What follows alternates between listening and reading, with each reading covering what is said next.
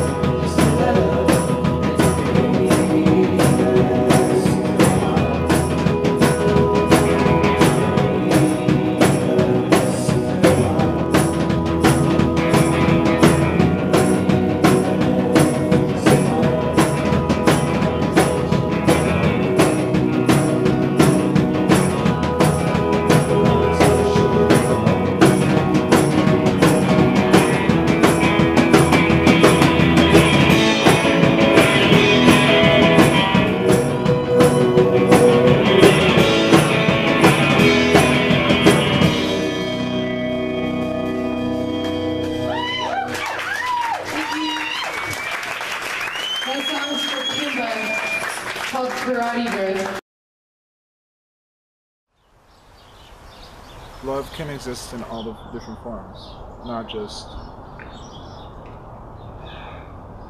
not just physical, not just mental.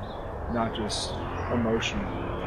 Love comes in every form you can think of. But the rea- the the, the greater aspect, if you've ever loved someone, that love can never be lost. As well as it also teaches you that you as a being are worth love. By the mere fact that you exist, that you are part of creation, part of the spirit, part of everything. You are worth love. You are also worth the ability to be loved. As one of my favorite people I listen to would say, to believe that you are unworthy of love is arrogance. Because if you didn't, if you weren't worth existing, you wouldn't.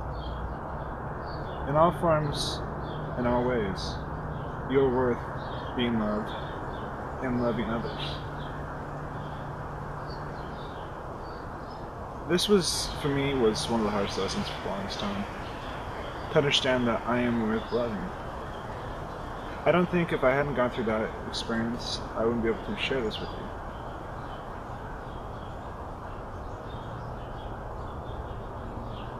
You become speechless at the sight of love, but you also become. It can drive you forward, drive you to greater heights, greater appreciation for you and yourself.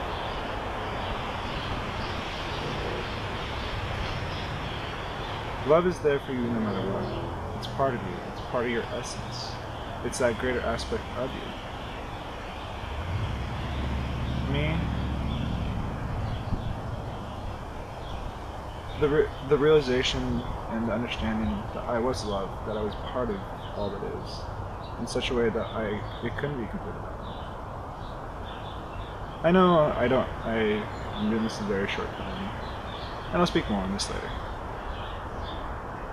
But just by the mere fact of someone existing says they are worthy of love, because you wouldn't, there wouldn't be all creation, every every part of it wouldn't be complete with every single part of it, every point of view. That includes all the different points of view in love. Mine. This is just my point of view on love. And I believe everyone's worth it. Uh, Everyone's worth receiving love, giving love, but in a healthy way.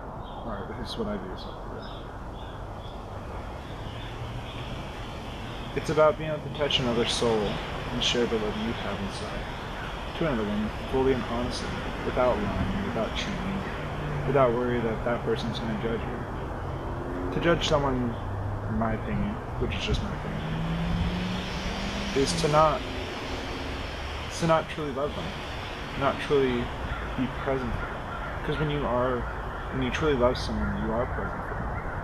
You're willing to listen to them, willing to let them have their opinion, because you know that they are just a reflection of you, and they can give you a greater view of yourself and your reality and your experience of being you.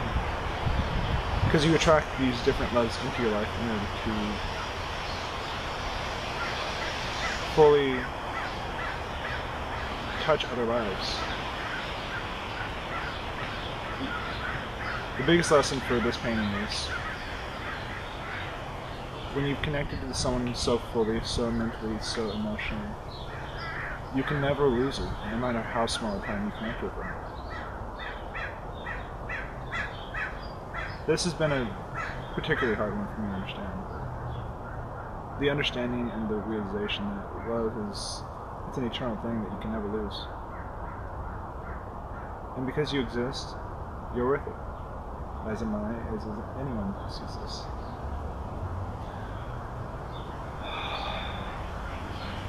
Speak more on this later, but have a good day. Don't forget to like and subscribe to my channel. I will talk to you soon. More to come. Check out the Tiburones when you get a chance. Excellent band. That's music we're just listening to. Talk to you soon. Have a good day.